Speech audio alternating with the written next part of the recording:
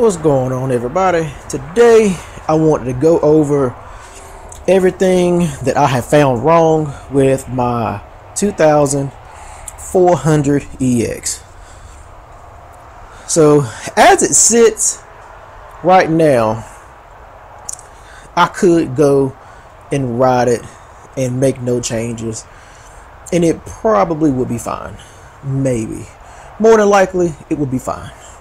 But since I know that stuff is wrong with it, I want to make sure that it is good to go to the best of my knowledge. That way, when I do ride it, I have peace of mind that I know that it's right. So, with that being said, if you buy something, don't take the seller's word for it. Make sure you look over your own stuff before you go and just start riding it, unless you just don't care. First thing that's wrong with it, these are the wicked products uh, plus two lower arms, and Wicked Products. I can't even find like their website. I found Wicked Products, but I don't know if it's the same company. But you can't find like the rebuild parts for these A arms. So you can't find the ball joints or anything from that company. I'm sure I could find something that fit, but like you can't look up Wicked Products part numbers and order like their stuff. So with that being said, the Heim joints on the passenger side are they got major play in them. These two right here. And I don't know if I can show y'all that, but like I hold a breakdown, there is play. I don't know if y'all can see it on camera. But there is play in these Heim joints where they actually rock back and forth. Now I've seen so really what I need to do to rectify this is that I need to take the upper control arm off, figure out the thread size, figure out the size for the bolt hole, figure out the difference between from the from the collar to the to the top of the eyelet, and then to see if I can find one. And this might be right right hand thread. I'm not sure. And just find four and just replace all four of them, basically. Uh, these are supposed to be like Delrin bushings in the bottom, so that should be fine. The upper and lower ball joints look fine. Just no play. I'm not worried about that. But at some point or another, this is not urgent, but at some point or another, I will need to find uh, Heim joints for the upper control arms. Um, I need to go over and bolt check everything under the bottom. It seems like they put the skid plate on and never took it back off because all of the Allen holes and everything looks good. Uh, on the swing arm skid plate, they have washers under them, and I'm not sure if it's supposed to have washers under them. Uh, but this one does not, and it has like some sort of I'm not sure what that is on there. So, and this has been beat up pretty good, so it's been doing its job. So I need to take a look at that and determine the proper hardware. And while we're talking about hardware, let's talk about this rear axle. This is a Durablue X33 pin axle. Because when I got this and my buddy Cortland rode it, I noticed a bunch of play in the axle. But when I looked, there was no axle hub. So I was like, well, you know, what's going on with that? So yes, this is a 800 to 1100 dollar rear axle. Now, if you look here, you will see that you know that lug, that lug, that lug, none of those are seated correctly. So this has me thinking that that's not the correct hardware, which I know now that is not the correct hardware. And the hardware that's going through the axle the pin hardware is not correct either. And nor is it tight because they rock on the axle. So once i found out that it was Durablue like that like this is the correct hardware. This is the wrong hardware. So the guys on the facebook group honda hoarders was like it's a Durablue axle? Contact the guy Durablue. He'll get you the right stuff. So $78 later, I have all of the wheel studs, and the pin hardware for this axle. So this hopefully will take care of the slop that are on those rear hubs and take care of the luggage issue. So $80, $78 shipped for all new hardware the rear axle. So I can fix that. No problem. That was really my biggest issue because when he was riding it, you could see it like slopping from side to side. And it, it's a lot of play. Like I don't know if it comes over on camera.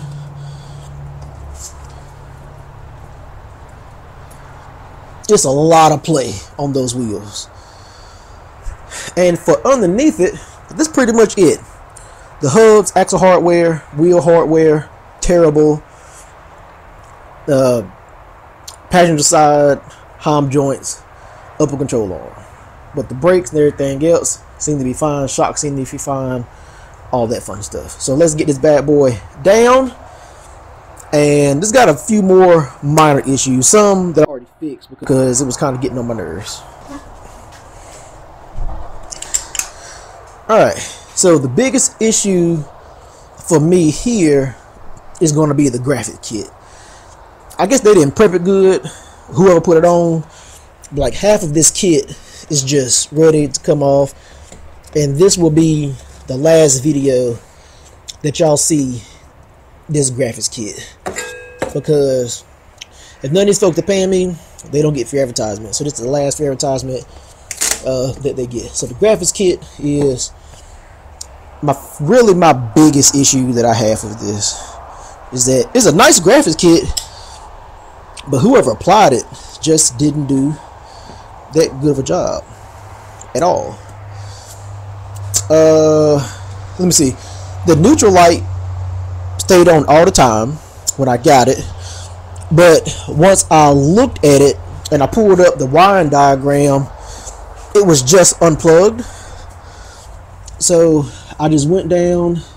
Where was it at? Right here, and just plugged it in, and then it was all good to go. Uh, the next thing was they had the gas reservoir knob on the wrong way. It's flat on one side, but they had it turned like 180 out.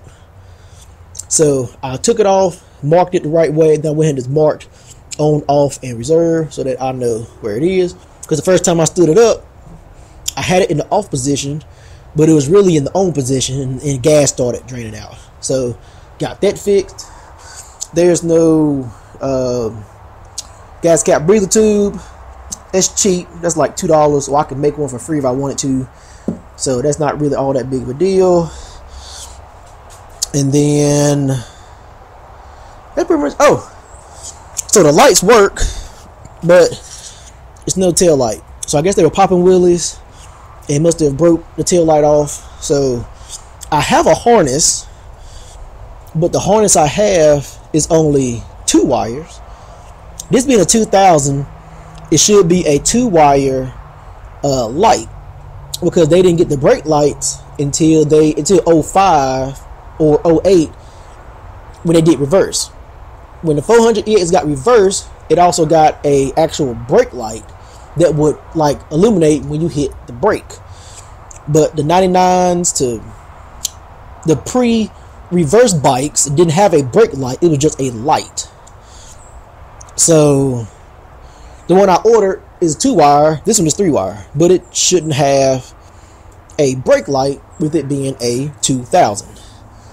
So I have to figure that out. Does this actually have a brake light? Was it wired up for a brake light or not? I have to figure that out. And then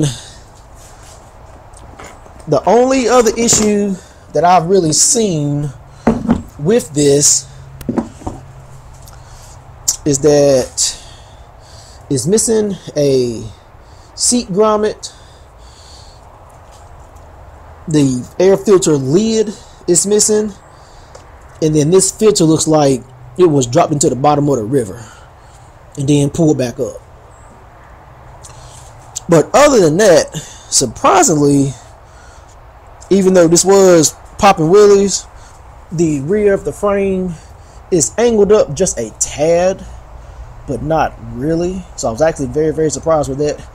It looked like the CDI um, runs replaced at one time, but I can't tell if it's just like an aftermarket replacement or if it has like a higher rev limit, one of those performance ones, because it doesn't have any markings on it. But this is fresh, so I doubt that this is, you know, 24 years old. The battery is a little weak. Uh, uh,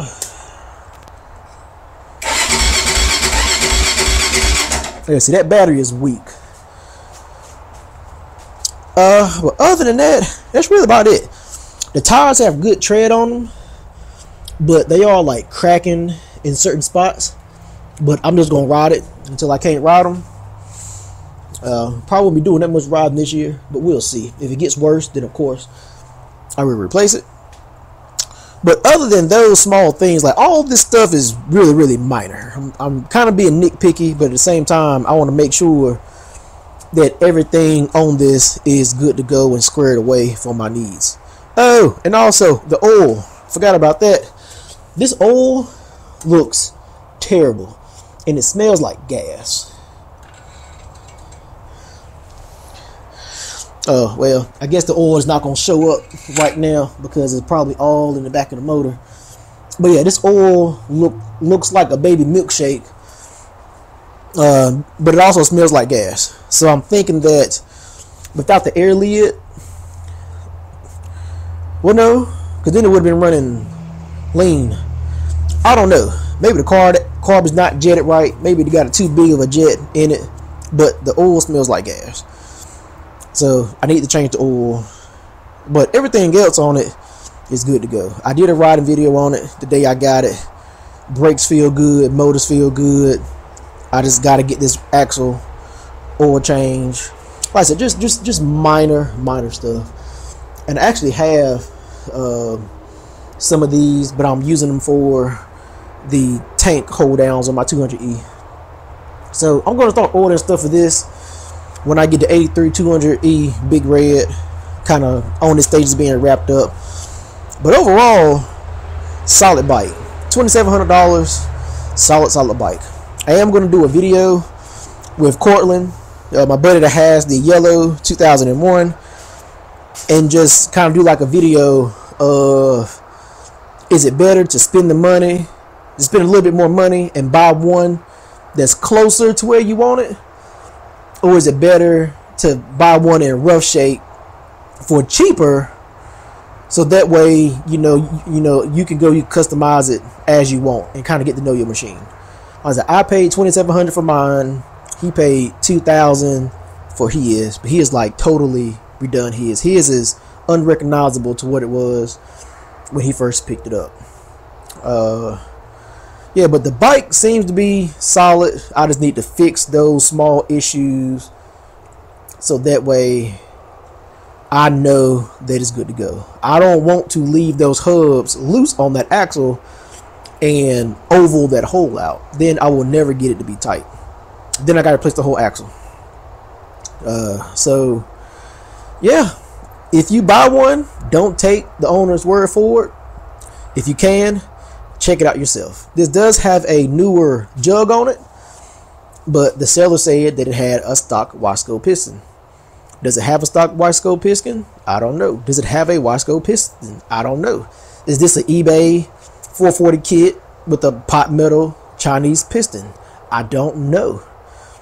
When and if the bike messes up and we take the top end off, we will find out if it is a name brand piston, if it is stock bore, if it's a $80 Amazon big bore kit.